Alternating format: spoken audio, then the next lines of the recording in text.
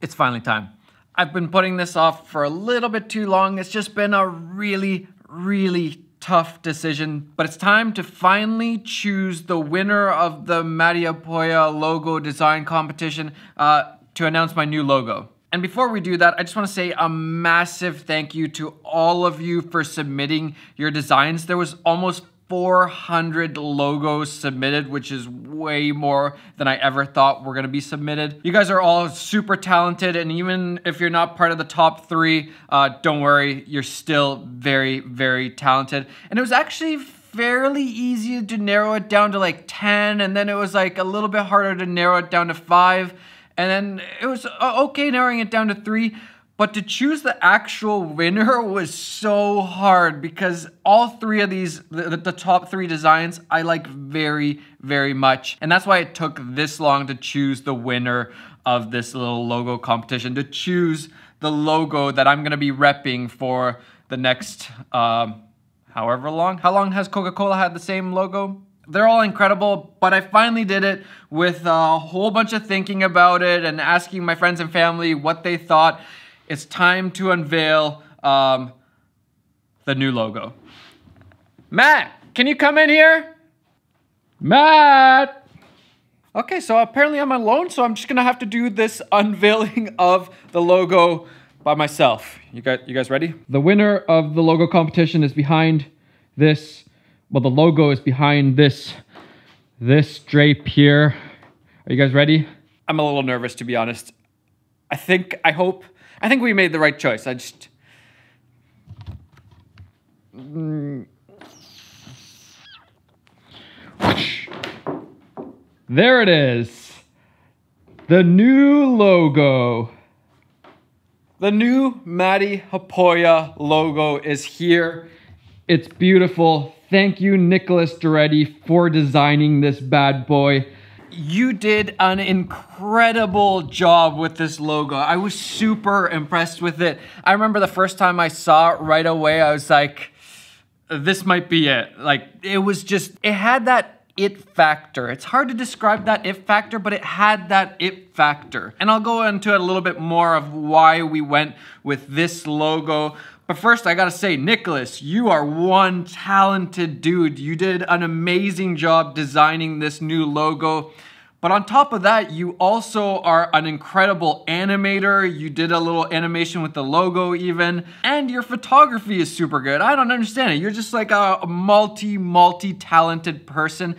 If you're looking to follow somebody who I think is gonna be very, very successful if he's already not insanely successful, uh, check out Nicolas Doretti. I'm gonna link him down below. And if you need any graphic design work, well, Nicolas, he is your man. I hope, Nicolas, you get like a ton of work from this. I was gonna try to FaceTime you, but uh, I think you're in Australia and I, I, believe it's pretty late there right now. So uh, we'll have to chat some more later. And the reason why I like this logo so much is that it felt very me. It felt personal. It has this nice simplistic style, which is really what I was going for. It's easy to tell that it's Matti Haapoja, MH. It's very, very clear. The style is really flexible. You can do a whole bunch of different looks with this logo, which I really, really like.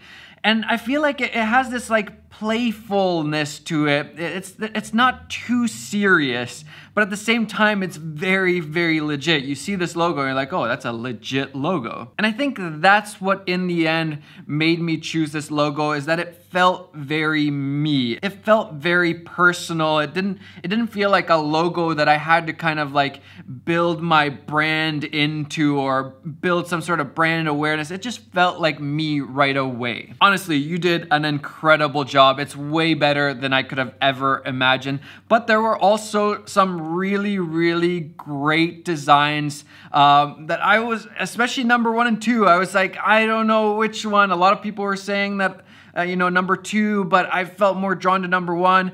Um, so yeah, number two was Med Art. Uh, I loved this logo. It's a really, really impressive logo, and it's probably uh, the best logo, I think. The design is super cool. It has kind of the M in there and then there's an H in there. It's almost like a little Easter egg finding that H in there. And then it's kind of like a mountain. So I feel like that, that, that does describe a lot of things that I'm really into. But at the same time, it felt more like a logo for uh, an outdoor clothing brand or a backpack company or some like rugged outdoorsy uh, logo. It felt like a company's logo, not like a personal logo. Does that does that make any sense? Because this is a great logo. It just doesn't feel personal enough for me. If I was starting like a clothing brand, this would be a really, really cool logo that I would I would take hands down right now. But because it's my personal logo, it just didn't have that personal touch, that, that little bit that I was missing. But honestly, great job, man. I really, really liked what you did. It's super impressive. Uh, if you guys need any logos designed for you, um, Medyou Art, uh, I highly, highly recommend this guy because he clearly knows what he's doing. And also, we would love to work with you in the future. Hopefully, there's some projects that we can work on with graphics or merch or something. I don't, I don't know what it's gonna be yet, but uh, we would love to work with you in the future. Third place was Patrick Bessie or Pessi. I, I, don't know how you say your name. Are you are you Finnish? Bessie? That's how I would say it in Finnish. But if I was, you know, if it was an English name, it would be Pessi. I really like how simple this logo was, and I liked how how it has the M and the H and a, and a nice clean way. It's very clearly Matti Haapoja MH.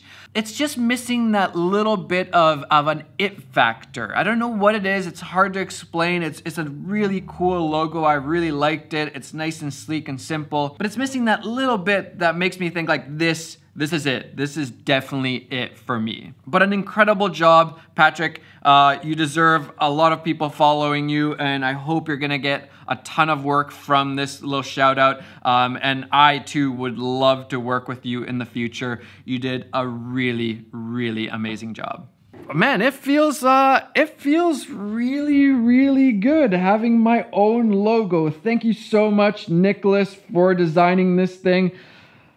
I don't know how I'm gonna thank you. Well, I guess I guess I gotta pay you, and then hopefully, hopefully this this little shout out will will also pay you even more uh, in the future. But I also learned some interesting things through this, this little process. I really like being able to reach out to you guys, to hire you guys, because there's a lot of talented people um, subscribed to this channel, watching this channel. So it's really cool being able to work with you guys. Like for example, hiring my editor, Matt. Uh, yeah, he's like, he's a part of the team. I get to work with him every single day and he was just one of you guys um, not too long ago, like a year ago. He was just somebody that followed the channel. And the same thing here, uh, Nicolas, I don't know if you've been watching the channel for a while, but now we get to start working together, and I find that super cool.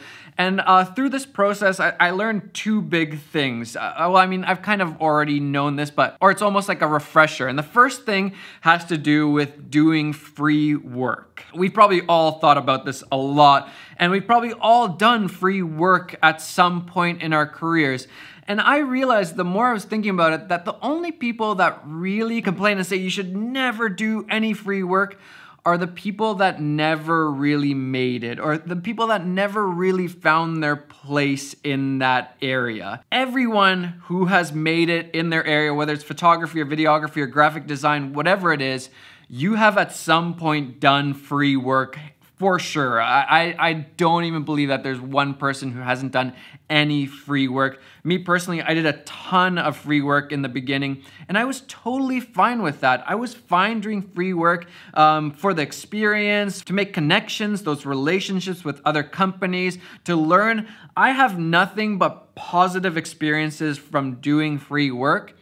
But eventually, you kind of work yourself out of that. Once you get good enough, people want to start hiring you and you don't need to do free work anymore. But the people that get stuck in that state of doing free work or for very, very cheap, I feel like they never get to a place where they can really charge for their services. And of course, that's gonna suck. That's gonna be a crappy place to be in.